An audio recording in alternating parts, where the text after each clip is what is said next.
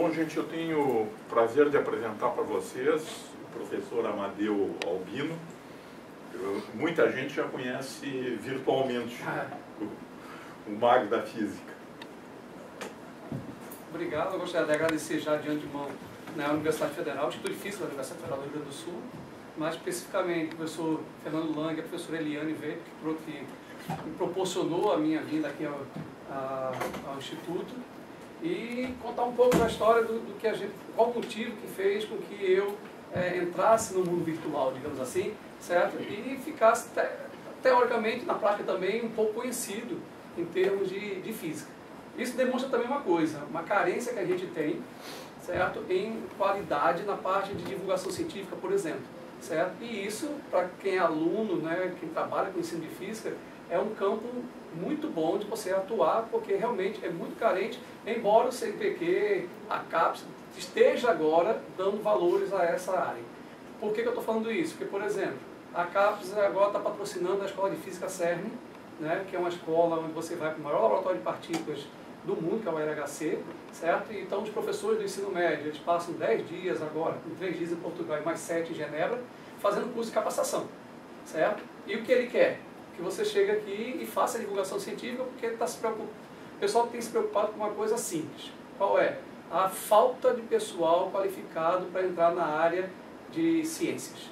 Especificamente para entrar na área, vamos falar de física, para ser bacharel ou para ser licenciado. A gente não está atingindo o público né, necessário para que entre na universidade e queira realmente fazer uma, uma faculdade, uma universidade, um curso de física, seja licenciatura ou bacharelado. E pior ainda a parte de engenharias certo? Mas ah, há uma dificuldade com relação à parte de docência, certo? E aí eu vou comentar aqui por que a ideia do mago da física, por que, que surgiu isso aí, certo? Falando um pouco da minha formação. É, eu sou eletrotécnico, eu sou da Escola Técnica Federal do Rio Grande do Norte, fiz o curso de eletrotécnico. É interessante ressaltar que eu fiz o curso de, de eletrotécnica na Escola Técnica Federal. Quando professor, passei no concurso do Cefet, certo? Do RN, e hoje trabalho no IFRN, é o mesmo prédio, certo? Que é em Natal, no centro de Natal, é um prédio fabuloso, um ambiente de trabalho espetacular sobre o grupo de física, certo? Aí eu fiz bacharelado em física, fiz o mestrado em física, entrei no doutorado em física também, mas não terminei o doutorado, e aí fiz licenciatura por, por um objetivo, certo? Influência de professores pela qualidade da aula dos professores. Então aqueles que forem e vier a ser professor, tem que se preocupar também com o tipo de, de, de atitude que vai ter de sala de aula, porque vocês vão espelhar né, os alunos para serem alguém ou formar um cidadão. Então, alguns professores me influenciaram em ser professor pela qualidade das aulas deles, certo? E aí também eu olhei isso como uma forma de você, obviamente, ter um, um, um lado profissional. Aí eu fiz o curso de licenciatura, aí foi quando fui, foi possível participar do concurso do então Cefet, porque lá para entrar você pode ser doutor, mas tem que ter o curso de licenciatura porque vai basicamente atuar no ensino médio. Então o doutorado ali é só na hora de classificar, de contar ponto na titulação, certo? Bom, então vamos lá. O mago da física e seu mundo virtual. Qual é a ideia que eu tive para isso? É o seguinte, eu dei aula de, eu entrei, comecei a trabalhar com ensino médio em 95, mas realmente ininterruptamente a partir de 98. E aí eu trabalhava na escola privada, só entrei no Instituto Federal em 2003, certo? E sempre me preocupava em ver uma possibilidade de interagir com o aluno além dos muros da escola, certo? Por quê? Porque será que esse é o único espaço que a gente poderia realmente trabalhar com o aluno? Certo? Pense em um adolescente que vai passar 4, 5 horas sentado numa cadeira dessa, olhando para um quadro, tendo a responsabilidade de aprender, porque aquilo ali vai ser, servir como base para sua carreira, sua vida profissional, certo?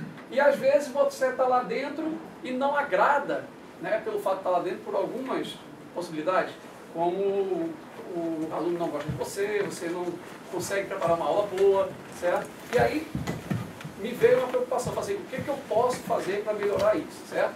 Então a preocupação é justamente trabalhar e interagir além dos muros da escola. Né? Eu sentia essa necessidade. E aí compactuava também com alguns outros professores que questionavam isso. Falavam assim, poxa, a gente só vai fazer aqui se a gente vem aqui dar aula, um prejuízo que, que geralmente ocorre, uma coisa que atrapalha.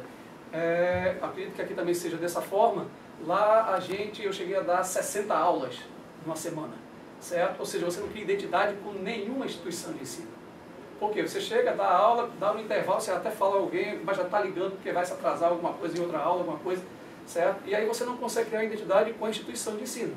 Se você não consegue criar identidade, você não se envolve com ela. E se você não se envolve com ela, muito menos vai se envolver com os alunos. Nesse, hoje em dia, certo? A, a, a meu, é, é, a minha atuação é mais, é, é mais agradável, porque como eu estou com dedicação exclusiva no, no Instituto Federal, eu tenho tempo para fazer esse tipo de interação certo? Mas eu venho com resultados significativos, mesmo antes de ter essa, é, esse tempo né, com dedicação exclusiva, certo? E aí, minha, é, minha dúvida sempre foi a seguinte, o que, é que eu tenho que fazer para tirar o aluno, certo?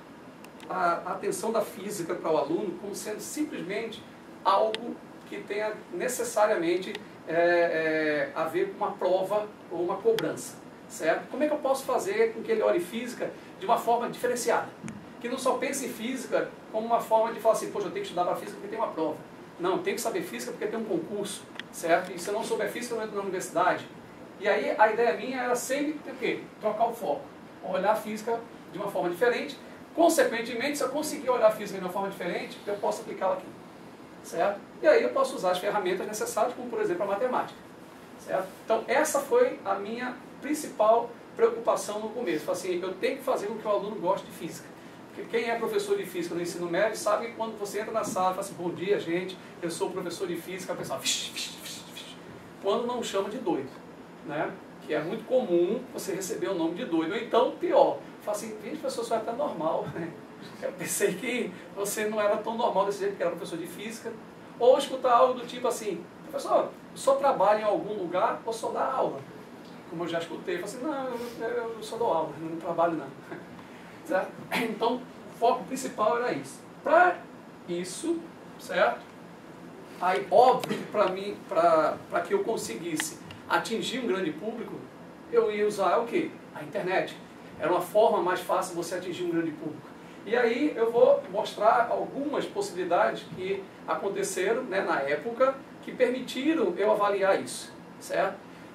Eu já, tenho, já fiz de tudo para me envolver com o aluno. Eu até falei ontem, estava falando na oficina do pessoal do mestrado, eu cheguei a quebrar o recorde mundial de futsal, certo? Do Guinness, recebi certificado e tudo, para interagir com o aluno de alguma forma.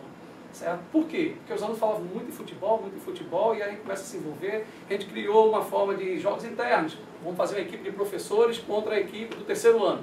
Certo? Aí vamos lá e tá, e tome aula e o aluno tinha dificuldade e fala assim, ah, professor, você joga muito. Eu falei, é mesmo, obrigado. Eu falei assim, é, joga de manhã, de tarde e à noite. Aí eu falei assim, tá, muito obrigado pelo elogio. Aí ficava aquela brincadeira, eu falei assim, vou pegar o que você me informou e vou usar. Certo? Quer dizer que eu jogo muito. Aí entrei em contato com o Guinness, Falei assim, olha, eu queria bater o recorde de futsal. Eu quero jogar o maior tempo, a maior partida de futsal do mundo.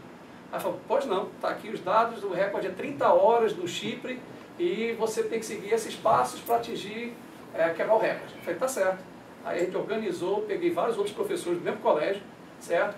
Aí durante um ano de preparação, todo dia a gente era recebido em festa na instituição. Olha, meu professor vai bater o recorde mundial, vai então a gente conseguia interagir, dava uma lista de exercícios, pô, obrigado professor, pensa um aluno satisfeito porque eu estava interagindo com você, certo? E aí a gente, em novembro, em agosto de 2009, a gente entrou na quadra no sábado às 8 horas da manhã e jogamos até o domingo às 4 da tarde, 4 e 20.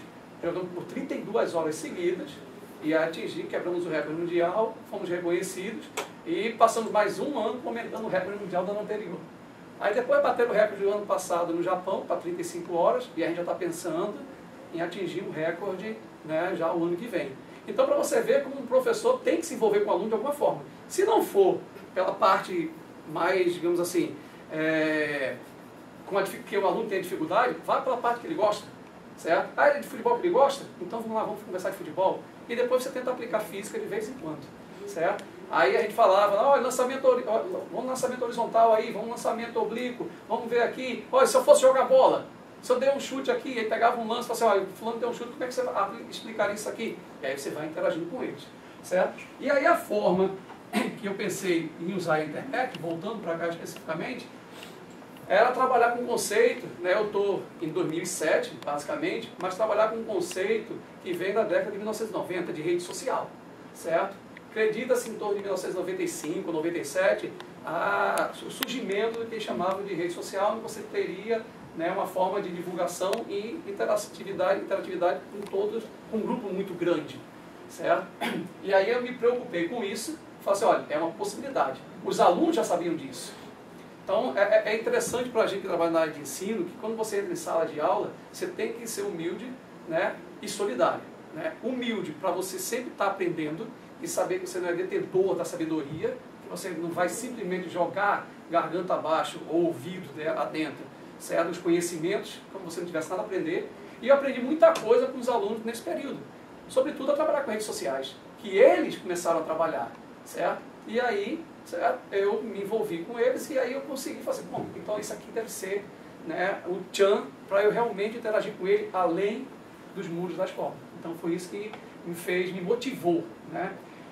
Quando eu tentei, certo, entrar para a rede social, eu falei assim, poxa, eu tenho que botar assim, professor Amadeu, professor alguma coisa, aí eu me lembrei de uma coisa que tinha ocorrido, isso aqui vai ser em 2007, mas uma coisa que ocorreu em 2004. O que que era? Os alunos sempre questionavam assim, professor, deu uma aula diferente? Professor, deu uma aula diferente, aí você levava para o ginásio, aí levava, não professor, mas é uma aula diferente. Eu falo assim, tudo bem, me dê sugestões, não sei o quê. Não, tem que ser uma aula diferente. Ela fala, mas o que é uma aula diferente para você? Porque a gente já foi para o ginásio, já foi ali na rua, já foi em aula de campo, não sei o quê. Está faltando alguma coisa, professor. Aí eu falei assim, tá certo. Aí entrei em contato com a direção do colégio, com o apoio da direção. Ela falou assim, olha, eu quero o auditório, que eu vou preparar uma aula certo? Para interagir com os alunos de uma forma diferente. Mas como? Eu assim, eu vou pensar, me só o período, né, aí uma data, aí você me dá aula extra, né, você pagaria uma aula para mim? Faz, não, à vontade, pode. Eu sei que, curtando um pouco, é, eu recebi duas horas extras, né, ou três, se eu não me engano, e gastei dez vezes o valor que eu recebi de hora extra, e vou explicar como. Eu falei assim, tem que interagir. Dá uma aula por dar uma aula, o aluno falou assim, é outra aula, só mudou o ambiente, saiu daqui da sala de aula e foi para o auditório. Eu falei assim, então vou criar um personagem. Que personagem eu criaria? Aí eu falei assim, física, não sei o que. Ah, vou... Aí apareceu o um nome, de alguma forma, Mago da Física. Aí eu falei assim, desvende né, o mundo do Mago da Física. Depois eu vou até contar uma coisa que o pessoal da área de ensino rebateu muito, porque física não é magia, certo? Eu falei assim, não estou discutindo isso como magia, é só uma forma de atrair meu público, que seriam os alunos do ensino médio. E ele nunca, em momento algum, eu tentei passar para os alunos a ideia de que física poderia ser uma coisa mágica que não teria explicação, certo? E aí a ideia é só para interagir. Bom, aí eu peguei, conversei com um amigo meu, Charles Salvador, que era professor da... Ele era é, pós-graduando da Universidade Federal do Rio Grande do Norte, mas para mim ele era um professor pardal. O que você pedisse a ele, ele construía, certo? É, ele chegou a construir, pegou um Puma, reformou um Puma, que ele chegava do lado, passava a mão, o Puma abria certo? O capu entra, entrava vento, que pegava e saiu o ar-condicionado lá na frente. Então, era um professor Pardal, hoje ele é professor da Universidade Federal de Pernambuco, se não me engano, certo? E aí eu expliquei, ele falou assim, Charles, eu preciso fazer algo diferente para os alunos. Falei, então vamos lá, vamos sentar. Eu falei assim, olha, eu falei que seria o mago da física. Eu falei assim, vou fazer uma roupa. Então a gente faz uma roupa, uma capa preta, né, para parecer um mago. Beleza. Aí, mas só isso não dá certo. Então vamos montar os experimentos, esse experimento aqui, esse experimento aqui, esse experimento aqui, a gente leva para lá, chama o pessoal para interagir, a gente vai explicando, vamos, beleza. Mas está faltando algo. Tá, a abertura, né? Você vai simplesmente chegar lá e falar assim, gente, vamos aqui, é outra aula normal. Aí marquei com ele, aí a abertura era assim. Todos os dedos meu tinham um laser, uma ponta do laser, certo? Eu tinha luz estroboscópica, fumaça, todo tipo de aparato né, de show, certo? Foi para cima da aula. Foi aonde eu gastei, ganhei 50 reais, gastei 500 para dar aula. Boa parte desse material ainda tem. Então eu comprei, fui numa loja de música, comprei um que eles chamam de ameba laser. Basicamente são figuras de saju é, organizadas por laser. Você tem um laser, tem dois espelhozinhos, eles ficam vibrando e aparecem as figuras de saju na parede. Comprei aquilo, comprei laser não sei da onde, beleza. Chegou lá, vai começar a aula. Eu entrei e falei, só um instantinho, botei uma música, escuridão. Quando abriu, foram 10 minutos de gritaria. Eu pensei que ia ser demitido, porque foi uma festa, uma algazarra gigante, certo? Era todo mundo tentando entrar, gritando, gritando, gritando. Eu falei assim, ótimo. O primeiro objetivo foi atingido, certo? Eles me viram, então já chamei a atenção. Aí depois pegava aqui um experimento e ia explicar, falava assim, por favor, o que é que você... Todo mundo levantava a mão. Aí pegava um, falava assim, vamos cá, tente fazer, como é que é, vamos explicar. De duas aulas, a gente passou quase quatro aulas lá dentro. E aí, isso foi em 2004. Em 2005 eu repeti a aula, mas em 2007 eu falei assim, já sei que eu vou pegar, eu vou resgatar a ideia do Mago da Física e vou criar um personagem, certo, denominado Mago da Física. Aonde eu criei, certo? Sim, desculpa. Vou até mencionar a questão de possibilidades e limite para que isso ocorra, né? ou para que isso realmente venha ocorrer. Possibilidades. Eu vi e via, né, na verdade, que os alunos eram muito espontâneos quando ingressavam na rede social. Certo? Eles falavam coisas que não falavam em sala de aula. Entre eles, nesse momento eu não sabia que ele poderia interagir dessa forma comigo. Mas eu via que aquele, aquele aluno tímido se expunha muito bem nas redes sociais, com foto, com nome, certo? E aí escreviam coisas maravilhosas às vezes, até a professora de português chegou a relatar isso, falou assim, rapaz, eu passo um negócio de português aqui, eu tenho dificuldade imensa de escrever. Eu vejo os textos dela na internet, são maravilhosos. Eu até desconfio que não seja dela, mas as amigas dela disseram assim, não é ela mesmo quem escreve. E aí isso começou a despertar, né, o interesse, falou assim, olha, é um caminho de possibilidades, certo? Outra coisa, você tem condições de usar a internet, né, num tempo maior de duração nessa interação certo? Ou seja, você podia entrar a hora que quisesse, né? não necessariamente você precisaria estar né, é, online para responder, mas o aluno poderia deixar uma pergunta lá e aí depois a gente vai discutir o que acontece até hoje, certo? E aí começaram a aparecer oportunidades, interagir entre professores, porque aí eu teria um grupo né, de professores que poderiam né, interagir também, responder, e, e aí você criaria um grupo. Limites, certo? Aí quando você fala em professores, aí você tem que falar em tempo. E aí, às vezes, você não consegue né, juntar um grupo de docentes que realmente se envolvam, não necessariamente porque eles não querem ou porque não têm interesse. Na maioria das vezes é até por falta de tempo. Porque, como eu disse, eu estou ainda em 2007, eu ainda estou com 60 aulas, certo? E 60 aulas durante uma semana é você trabalhar de manhã à tarde e boa parte da noite. Certo? E você sabe que quando o professor do ensino médio, você não tem um Instituto Federal, por exemplo, para dar suporte e dar um salário dependendo da quantidade de aula, quanto mais aula você tiver, mais dinheiro você recebe. Né? O salário aumenta de acordo com, com a aula. E aí você tirar professores né, que dediquem tempo para se envolver com isso, certo? É sinal que ele ou gosta muito, que seria o meu caso, e foi o meu caso, ou ele teria que abrir mão de horas aulas e isso aí teria um certo prejuízo. Então, é, foi um limite que eu achei na época. E como é que eu poderia ingressar nessa rede, certo? É, talvez alguém aqui talvez nem conheça mais, mas era o Orkut, certo? O Orkut na época estava assim, estourando, né? Todo mundo só falava de Orkut, Orkut, Orkut, porque não tinha Orkut, parece que era um ET, porque todo mundo tinha que ter um Orkut, certo? Aí eu falei assim, bom, então vou entrar no Orkut. E aí eu entrei no Orkut e criei né, um perfil Mago da Física. Foi a primeira vez que apareceu o nome Mago da Física publicamente, assim, num público maior. Né? Era só da instituição que era um colégio particular. Certo? E aí aqui conseguia é, compartilhar fotos, né, é, informações, interagir com o pessoal e como resultado disso eu percebi, certo? Que eu poderia fazer algum tipo de pesquisa, né? não pesquisa, consulta, porque pesquisa é uma coisa mais, mais complexa do que simplesmente você perguntar a alguém.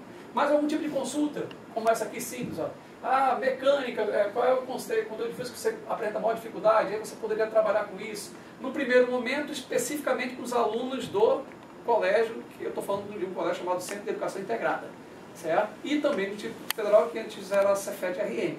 Só que eu vinha daqui a pouco pessoas de outras, outras, outros colégios, daqui a pouco de outras cidades, de outros estados, que começaram a interagir, certo? E aí eu percebi uma coisa interessante, que eu poderia colocar também né, questões de, de perguntas no vestibular, vestibular não, é, questionamentos que eu poderia criar. E aí eu percebi que alguns alunos, como por exemplo, eu pedi autorização para colocar o nome deles, falei assim, olha, vou apresentar lá um negócio, posso botar o nome de vocês, fala, não, você pode ficar à vontade. Hoje estão todos na, na universidade já, tem gente que já está até trabalhando como profissional. E aí, pergunta assim do tipo, vidro transparente, película. Aí eu perguntava, os carros possuem vidros transparentes ao sair das fábricas. Ao comprarmos um carro, podemos colocar uma película escura nos vidros. Após colocarmos a película, o vidro permanece transparente, translúcido, vira translúcido ou opaco. Certo? Uma pergunta simples que realmente acontece no dia a dia. E aí você percebia que essas pessoas, esse aqui é, é um caso específico, quase não abria boca em sala de aula, certo? Muito tímido. Você perguntava, ele baixava a cabeça. Se você falava assim, não, eu não quero responder não, então ele se expunha facilmente numa rede social. Eu não tenho dado científico para comprovar isso de uma forma geral, mas eu tenho resultados que, que possibilitam você interpretar desse jeito. Então você vê aqui, ó, né, o vidro permanece transparente, porque ela deixaria de ser, certo? Mas o, o conjunto película mais vidro vira translúcido. Aí concorda, aí isso aqui vai embora. E você passa a ser o mediador. Né? Eu passava a ser o mediador. Em alguns momentos eu entrava e falava assim, olha, pense, depois eu dava uma resposta. Você não dava uma resposta logo, porque senão não tem sentido, você não, não abre né, o questionamento. A maior parte dos questionamentos aqui, das dúvidas, eram tiradas entre eles mesmos. Certo? Um respondia a outro, outro falava, segundo fulano de tal, coisa que hoje em dia acontece no Facebook. Certo? Mas que naquela época, 2007, você faria isso facilmente usando o Orkut. Certo? E foi dessa forma que o mago da física apareceu. Uma forma de interagir com os alunos fora né, do ambiente de sala de aula. Certo? Bom, então eu precisava, essa, essa, essa marca aqui já é uma marca mais moderna, digamos assim. Certo? Eu precisava de uma marca no início quando eu comecei em 2007. Que marca era essa? Essa é a roupa do Mago da Física que eu montei, certo? Tinha, aí Charlie foi fazendo todo o aparato experimental. Isso aqui era um cabo de vassoura, uma garrafa PET, certo? Cortada de forma assim meio esquisita, representando uma tocha, certo? Dois CDs, e aí adaptou aqui um flash, uma máquina fotográfica, certo? E você apertava no botão, no escuro, puff, tirava uma foto, né? Saía um, um raio, digamos assim. Isso aqui é uma roupa simples, Esse aqui é meu filho, na época com, deixa eu ver, quantos anos já? Com 14 anos, 15 anos, certo? Aí ele tinha, ele falou assim, então pai, eu tenho um, um sinal aqui, eu vou no Photoshop tirar o sinal, porque senão vão dizer que sou eu, vão me reconhecer, certo? E aí ele ajeitou aqui, montou alguma coisa na, no computador e criou essa marca aqui. Pronto, aí já nascia o personagem mago da física, certo? Só, aí nascia virtualmente, né? que no primeiro momento era assim, trabalhar com colégio. Não era vislumbrava, fazer, ah, agora vou para o mundo. Não era essa a ideia. Mas você vê que, a gente vai falar até um pouco mais, a questão de carência que existe né, na área de ensino, pessoas que realmente gostem e que se envolvam, que se dediquem a fazer algo pela educação. E quando eu falo falei algo pela educação, não é resolver o problema da educação do mundo ou do país, não. É assim, contribuir de alguma forma, certo? Porque se cada um der uma pequena contribuição, eu acredito que vai melhorar de alguma forma. E aí, com, vigiar o pessoal todo, né, também, certo? E aí, foi criado, né, em 2007, no Orkut, aí eu vou, falar assim, meu filho fala assim, pai, tem um negócio do YouTube aí, é só de vídeo, é legal que só. Eu falo assim, não, mas não me interessa fazer isso não. Meu filho fala, não, a gente faz lá, põe um, um, um vídeo do senhor lá, não sei o que, eu falo, não, tá certo. Aí a gente foi e gravou um vídeo. Quem está com a câmera é meu filho mais velho. Aqui a mão do meu filho menor, que tem três anos a menos que ele, certo? E aí eu criei uma, um experimento de ondas estacionárias com espiral de caderno. Aí eu fiz, aí usei Windows Movie Maker, né, que é do, do, editor de vídeo né, do Windows.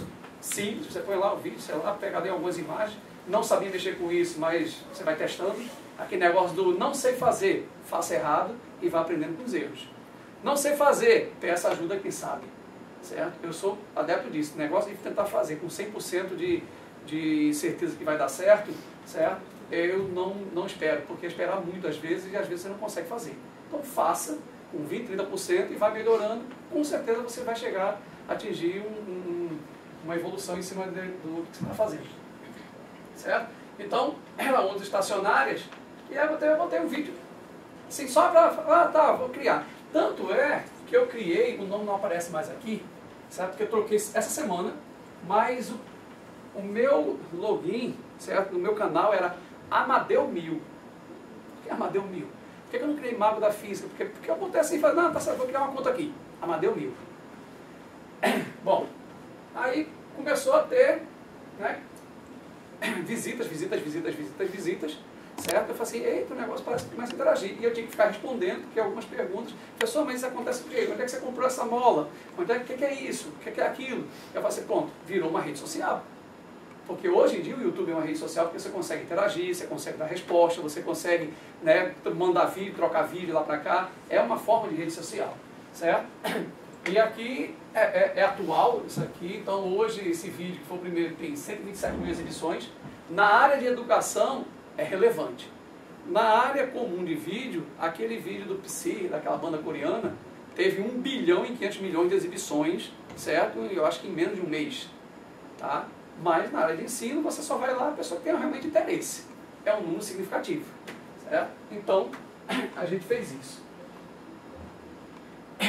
E aí, hoje, né, meu outro filho, o mais novo, criou a marca Mago da Física desse jeito. É, tudo é caseiro.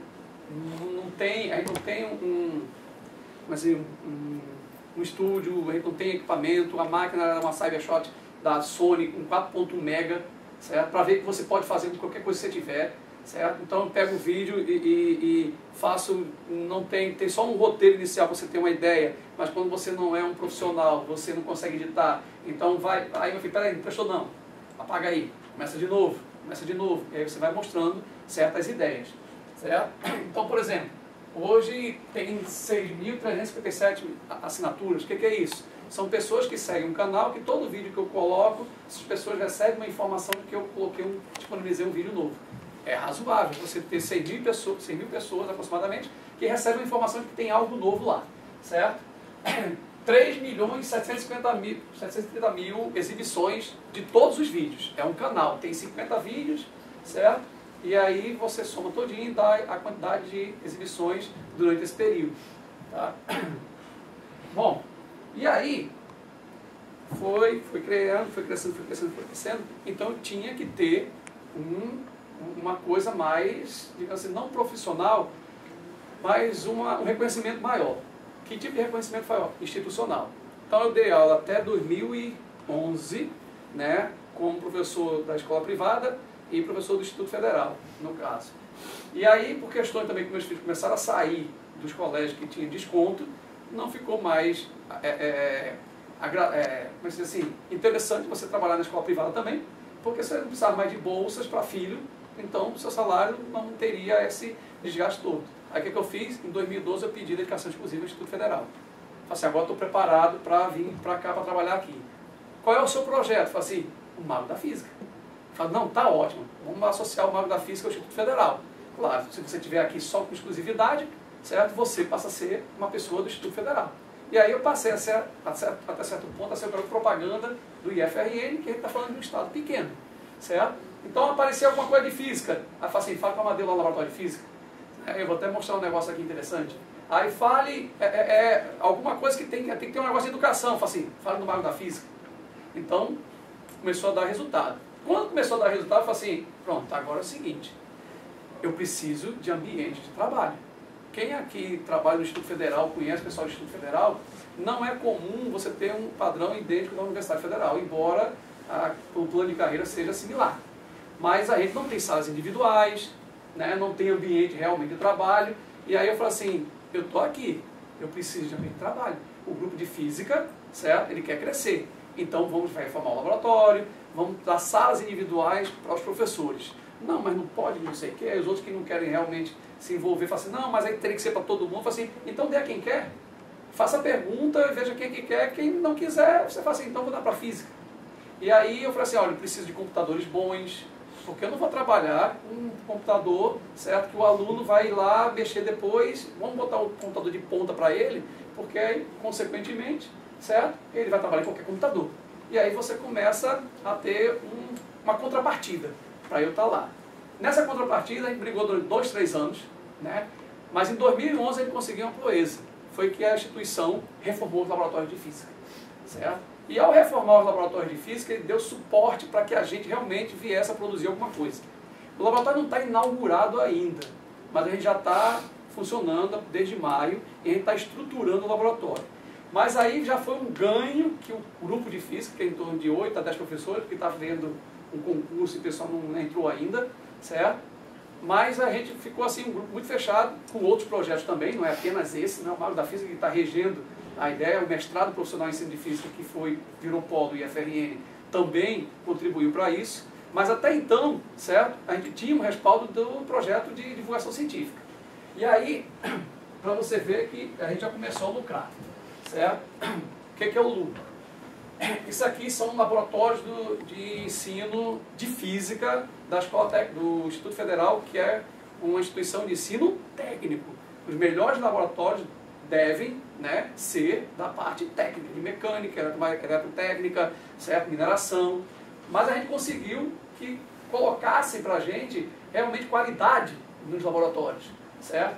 E aí, aqui eu tenho um laboratório de mecânica, de física computacional, a gente só trabalha com material da Apple, com Macs ou iPads ou é, MacBook, né? todos os projetos que a gente pega são materiais da Apple, tá? por vários motivos, um deles é trabalhar com vídeo, né? e a qualidade do, dos materiais dos computadores da Apple muito melhores, são muito melhores, certo? Outras é que a gente usa o FaceTime constantemente, que é um tipo de Skype do, da Apple, que você aperta um botão e já fala direto com o pessoal, tipo vídeo, é, videofonia, certo?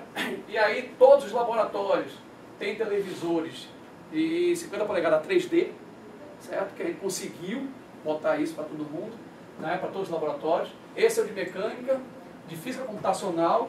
Essa turma aí, aproveitei uma foto, porque é a aula inaugural, foi a aula inaugural do mestrado nacional profissional em ensino de física, do qual a gente faz polo, e aí eles visitaram os laboratórios também e a gente aproveitou que aí divulga logo as duas coisas. Né? Aqui é o laboratório de ótica, física, ondas, ótica e física moderna. Né? Os alunos já, já estão alunos, tem alunos do Instituto Federal já aí. Tem mais laboratório de eletromagnetismo e laboratório de termodinâmica. Então, um grupo de física que era um pouco, né, é, é, como se diz assim, disperso, a gente conseguiu, com ideias simples, compactuar esse grupo de tal forma que para a gente lá ele é referência. Né? É óbvio que ele não, vai ser, não é uma referência na parte de ensino em nível nacional, mas se Deus quiser, gente está trabalhando para que realmente contribua de uma forma mais significativa para que a gente realmente, né, e é esse momento que gente está aqui, no caso eu estou aqui, estou representando o grupo de física né, do, do IFRN, para que a gente realmente possa interagir de alguma forma que a gente venha lucrar e que possa também dar contribuições para o Rio Grande do Sul até para a Universidade Federal do Rio Grande do Sul, estudo de física, basicamente. Certo? Então aqui a gente organizou, né, tudo isso aí já foi um, um ganho significativo.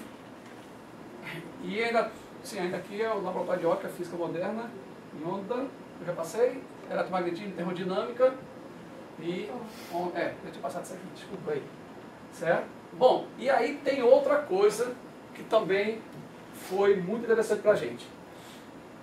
Pela primeira vez no Instituto Federal, a gente conseguiu, via essa, essa, esse trabalho de mexer com os alunos, de interagir com os alunos, de ter salas individuais, certo?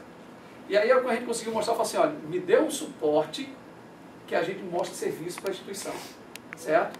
Aí ele falou assim, como? A gente mostrou algum resultado, falou assim, tá certo, eu dou suporte. Agora, o que, é que vocês têm em contrapartida? Aí a gente começou a mostrar serviço, certo? Então a gente tem salas individuais, certo? É, é a primeira vez que os professores de, da instituição têm salas individuais, uma sala razoavelmente grande, em torno de é, 3 metros e meio por 2,5, então dá em torno de 6, 8 metros quadrados, se não me engano, certo? Muito agradável, né? Você tem toda a estrutura com material, com computadores de primeira, com condicionador de ar, que aqui, é, lá é calor sempre, aqui faz frio de vez em quando, mas lá não faz frio certo? E a gente começou também a trabalhar né, com o pessoal do CERN. Por quê? Porque o projeto Mago da Física também me possibilitou ingressar na Escola de Física CERN, que é anual, já está entrando no quinto ano, o pessoal vai viajar amanhã, parece, quarta-feira, para Portugal, para quinta escola. E em 2012, né, um dos projetos de divulgação científica é, era em relação ao Mago da Física também.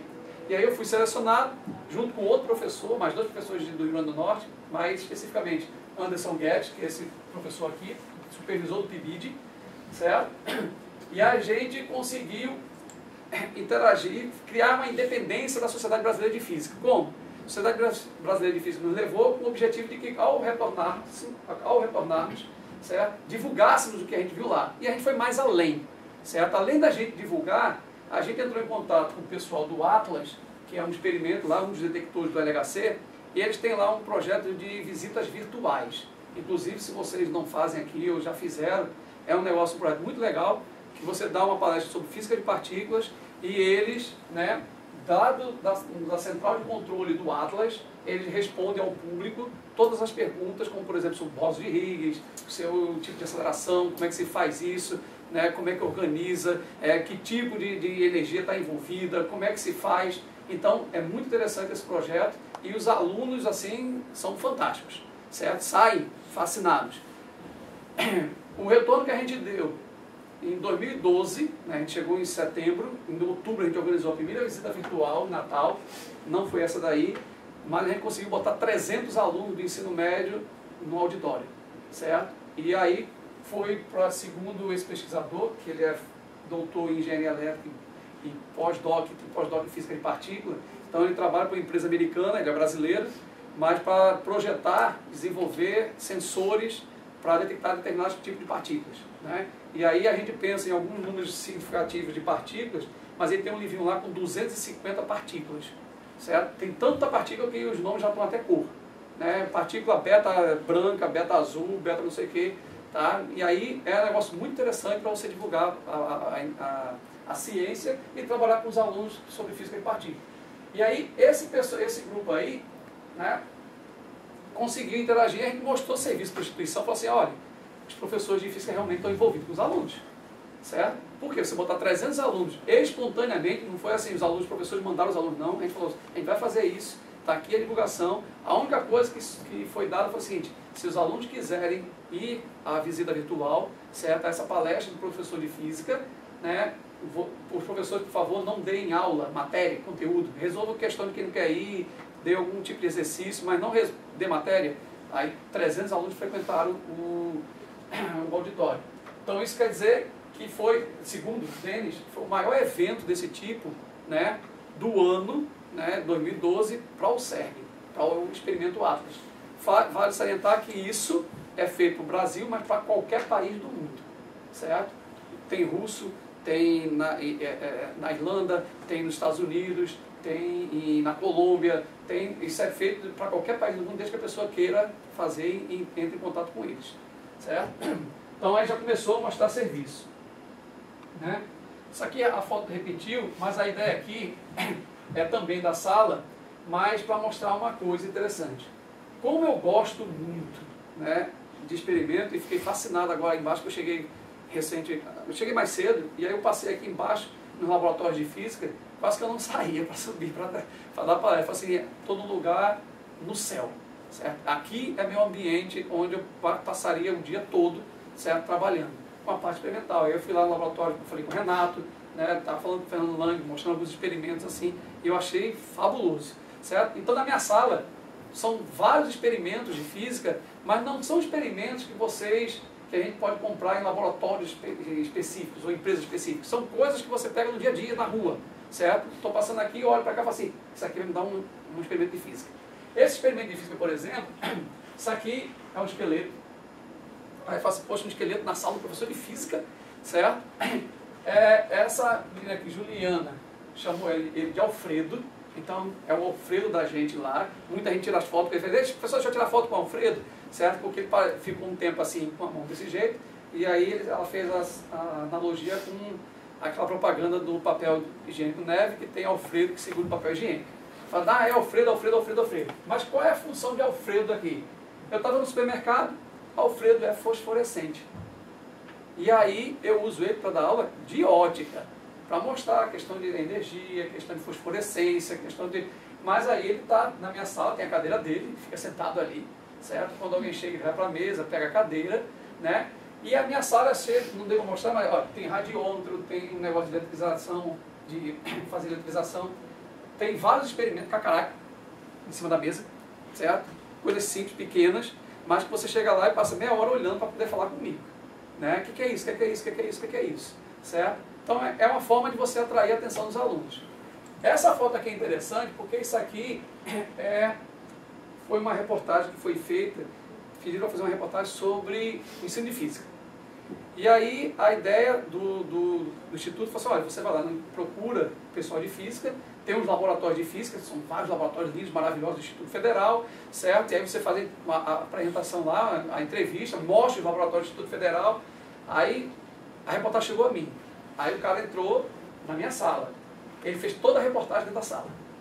Falando de física, de ensino de física, não sei o quê, a sala era pequena, razoavelmente pequena, mas couberam né, nós seis, o, o, o cameraman, o repórter e mais um menino que estava dando foto e filmando, certo? Ele não saiu de dentro da minha sala. Aí eu falei assim, e aquela reportagem que seria do laboratório? Eu falei, não, é ensino de física, certo? Seus alunos estão aqui maravilhados, eu vou para outro lugar para fazer o quê? Certo? Então, assim, isso dá uma resposta interessante para o que você faz. É assim, minha preocupação sempre, desde o começo, era assim, eu queria entrar em sala de aula e o aluno sentar aí, olhar para mim e falar assim, poxa, eu vou aprender alguma coisa. Certo? É, é interessante a aula do professor. Eu quero realmente para aquela aula. Porque às vezes você chega assim, já aconteceu comigo quando estudante, fala assim, pô, não acredito que hoje tem aula daquele professor. Eu não sei nada, não entendo nada, ele não muda, certo? É uma aula chata. E você ia, como estudante, sofrer. A minha ideia é, o aluno tem que sentar aí e se agradar o ambiente. Então eu tento mostrar para eles que física não é matemática pura que é para fazer exercício. Tem que ter essa preocupação? Tem, óbvio, física não se vive só sem matemática. Mas também que ele possa né, olhar a física no seu dia a dia, certo? Que ele vá pegar um ônibus, que ele vá numa geladeira, que ele vá no micro-ondas, que ele saiba o que está acontecendo, para ajudar isso, para ajudar a vida dele, a, a, como é que ele se comporta, até como cidadão que nós professores, obviamente, temos que orientá-los de várias formas. E como a gente, as atitudes da gente acabam espelhando esses alunos, a gente tem que se preocupar com isso também. Certo? Bom, então aqui, ó, para mostrar aqui quem é Alfredo, Alfredo com a lâmpada fluorescente, e aí todo mundo quer tirar foto com Alfredo, Alfredo né? Aqui a gente estava fazendo decomposição de luz. Na verdade é uma parte de descontração. Depois que eu dou a aula, que mexo, eu falo assim, agora podem brincar com a física, certo? E aí são fotos que eles tiram né? Aí põe no Facebook, põe vários, é, mostra para o pai, para a mãe, para não sei quem, certo? E aí aqui tem a decomposição da luz, aí fala, peraí, professor, vou cuspir arco-íris. Aí menino com a boca aqui dizendo assim, ah, eu estou cuspindo arco-íris, certo? Aí aqui, experimento de refração, retornou né, a foto que estava mostrando aqui. E aí eu, vou, eu, como eu vejo, eu tento ver física de todas as formas, e o Mário da Física me ajudou a fazer isso, eu vou ilustrar um negócio interessante que você vai falar assim, realmente tem sentido, certo? Meu filho faz publicidade, né? É, eu sempre me criava alguma coisa, mexia, né? Eu assim, vou fazer um cartaz. E eu acho que isso induziu ele até a querer seguir essa carreira, certo? Que ele ama muito e realmente acho que vai dar certo na vida dele. Então, por exemplo, eu fiz os, o cartaz do Simpósio Nacional de Ensino de Física em 2001 em Natal. Aí a gente conseguiu né, botar assim, a gente conhecia, e obviamente tem que conhecer de vez em quando algumas pessoas da Telemar, uma pessoa da Telemar fala assim, olha, é, põe aí, certo, o cartaz do cartão. Você lembra que antigamente o pessoal colecionava cartão telefônico? Né? Aí mudar os cartões de telefone para você comprar o cartão de telefone para ficar com, colecionando. Aí ele conseguiu botar o, o cartaz do Simpósio Nacional de Científica no cartão telefônico. E aí apareceu o nome da pessoa. Acho que foi uma das primeiras publicações. Né? Falei assim, olha, vou botar uma publicação aqui, Amadeu Albino, cartão telefônico. Certo? Só não botei no lápis. Mas estou até pensando em colocar. Mas eu falei assim, rapaz, tem que ter alguma coisa. Lucas, meu filho, você está falando de publicidade. Faça um cartão para mim, do Mago da Física. Agora sim, vamos à física. Eu falei assim, como física? Assim, olha, imagine uma, uma seguinte situação, você me dá um cartão. Eu pego esse cartão, o que, é que eu olho? Toda vez que eu quiser entrar em contato com você, eu vou olhar o cartão. Se você der 100 cartões, 100 pessoas vão ver o cartão. Aquelas que você entregou. E se eu fizer alguma coisa em um cartão que, além de você, da pessoa que recebeu, ela queira mostrar para outras pessoas o que está no cartão? Então vamos tentar ver isso? Aí ele falou, tá certo. Aí ele preparou esse cartão para mim. É um cartão de apresentação, mas que tem uma, uma ilusão de ótica na parte de trás. Aí o que, que aconteceu? Todo cartão que a gente dava para uma pessoa, ela chegava do lado e falava assim, ei, você está vendo isso aqui, ó? Como é que é legal? Ei, você está vendo isso aqui? Ou seja, de 100, a gente conseguiu ver que ele atingia 300 pessoas, 400 pessoas, ou talvez até mais.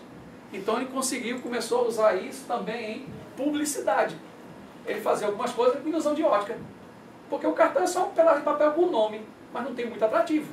E ele conseguiu fazer isso. Aí você quer fazer um banner, alguma coisa, tá? então ele faz alguma coisa que tenha uma ilusão de ótica, ou algo para chamar a atenção. Fala assim, a gente está vendo física em todas as áreas, certo? E a questão do mago da física está ajudando. Bom,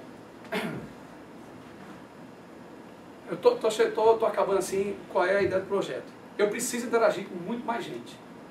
E aí eu tenho um projeto que eu vou dar em primeira, primeira mão, em primeira mão. O pessoal do Instituto Federal sabe porque eu estou correndo atrás para fazer isso, certo? É em primeira mão, eu não tenho resultado experimental, é, resultado de pesquisa, de como é que seria né, a forma de aplicar, né, se tem realmente um, um retorno, porque não foi lançado ainda, a gente vai lançar agora no aniversário do Instituto Federal, certo? Que é agora em setembro, dia 23 de setembro. E é, é, é interessante a questão seguinte, eu quero atingir um público que ele tenha prazer em ver física, ou que leia física de alguma forma, certo? Minha ideia é atingir o ensino fundamental, né, com ciência. No primeiro momento, eu não estou fazendo me pensando no ensino fundamental, porque eu não tenho experiência nenhuma no ensino fundamental. Então você tem que ter uma parte de apoio pedagógico para dizer assim, vai funcionar ou não vai funcionar, certo? Qual é a minha, meu projeto de 2013, que a ideia está lançando em setembro? Uma revista que a gente está chamando de Ciência em Quadrinho, certo? Eu conheço, eu sou de São Rafael, interior do Rio Grande do Norte, né? interiorzão, brabo, assim, de 30, 40 graus à noite, né? Não tem muita coisa, mas tem um amigo meu lá, que ele tem um pedaço de madeira assim inclinado, né? um computador, uma placazinha, que desenha muito bem o desenho é dele, Vanderlini. Né? Dá para ver que o nome é realmente né, do Rio Grande do Norte. Né? Dá para identificar que é de lá. Certo? E aí eu falei assim, Vanderlini, eu tenho uma ideia de tentar fazer né, uma história, uns, uns quadrinhos de ciência, levar ciência para quadrinho para fazer, distribuir, sem fim lucrativo. Aonde entra o Instituto Federal? Ele encampou a ideia e vai fazer como aplicativo para tablets, é, para Android ou iOS, certo? E aí ele vai tá editando para jogar, você baixa normalmente, lê, certo? E aí você vai, depois vai me dar o resultado. Eu não tenho né, estudo pedagógico para aplicar no ensino fundamental. Então a primeira história que eu pensei, tem uma questão né, que é do burrinho, né, que a pessoa tenta né, puxar o burrinho e fala assim, não, eu não vou me movimentar porque se acordo com a terceira lei de Newton, se eu puxar a carroça, a carroça me puxa com uma força de mesma intensidade, sentido contrário, então não vou sair do lugar. Certo? E aí a ideia né, era, ele criou o personagem mago da física, o medalhão, se vocês notarem a marca do mago da física, a capa para dar uma caricatura realmente da, do, da ideia do mago. Essa menina, é base, ela é, é, é como se diz assim, foi é, é, criada em função da minha filha, que tem uma filha de 7 anos. Eu dei a imagem dela, ela parece uma indiazinha japonesa, moreninha, cabelo bem liso. Aí eu falo assim, ela vai perguntar e o mago tenta responder, certo? E aí eu vou dar a ideia. O, o cara é um profissional é, nato, eu dou, dou o roteiro a ele, certo? E ele transforma isso na imagem. Não vou mostrar a, a figura toda, mas vou mostrar, por exemplo, ó, a ideia de como é começaria a história certo? Porque ele disse assim, olha, coloca assim, o mago e Helena, que é a menina, certo? Entram na cidade assim e tem uma pessoa tentando fazer com que a carroça ande. E aí a gente vai tentar criar um mecanismo para tentar falar, entender que o burro não quer fazer isso por causa da terceira lei de Newton. E aí a ideia é que o mago da física explicasse isso. Claro, isso é uma proposta, é um exemplar. A ideia é assim, explicar a questão do. Estou tomando água de coco, vou botar o canudo lá de fora, vou tirar um canudo, vou puxar, não vai entrar no negócio, vai explicar física. Ah, eu estou aqui na geladeira, certo? E a porta não quer abrir, certo? Acabei de fechar, mas tem dificuldade em abrir. Coisas simples do dia a dia que a pessoa lê em duas, três páginas e que tenha física ou ciência aplicada a isso. Então, esse é o meu projeto de 2013, que ainda está lançando em 2013, em primeira mão, assim, claro, tem algumas pessoas do Instituto Federal que sabem, mas fora do Instituto Federal ninguém sabia dessa ideia aí, certo? A outra que a gente já está encaminhando, né, que aqui é um esboço, é o seguinte, a gente vai apresentar o LHC com os dois personagens, certo? A ideia é que o experimento Atlas, né, ele apoie a, a, o projeto e aí isso passa a ser divulgado pelo CERN, certo? A gente vai é, é, traduzir para inglês e francês, e aí a ideia, desde que a pessoa lá tenha respaldo para isso, vai avaliar que ele sirva de publicidade do, do LHC. Ou seja, a apresentação se distribui foto como tem fim lucrativo, não deve ser muito difícil se a qualidade for boa, certo? No primeiro momento a gente vai apresentar né, o, o LHC, o CERN, e depois disso a gente vai avaliar e vai perguntar se o pessoal do Atlas gostaria de que a gente apresentasse o Atlas. Desde que a gente já propôs criar um personagem do Denis Damasio, que é o pesquisador que está lá, que interage com a gente direto. Então isso aqui já é um esboço que o pessoal, o menino está fazendo para transformar depois numa coisa, uma imagem parecida com aquela anterior. Certo? Então essa seria o projeto do Mago da Física, a forma como a gente vai interagir. E, para finalizar, gostaria de agradecer né, à Universidade Federal do Rio Grande do Sul, mais especificamente o Instituto de Física, certo? em especial, novamente, ao professor Fernando Lang e à professora Eliane, que fez com que possibilitasse a minha vinda aqui ao Rio Grande do Sul interagir com vocês e que vocês conhecessem um pouco do outro extremo do Rio Grande, né? nesse caso do Norte. Eu agradeço aí a presença de vocês. Obrigado. E se alguém quiser, obviamente, perguntar alguma coisa, ficar à vontade aí, pode né, tentar responder, coisa desse tipo aí. Agradecemos então, professor.